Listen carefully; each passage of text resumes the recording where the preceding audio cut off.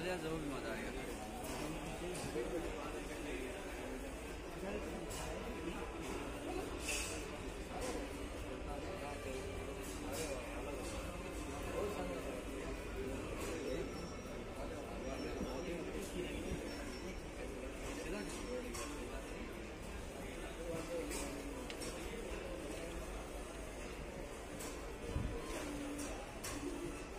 Ah, हाँ,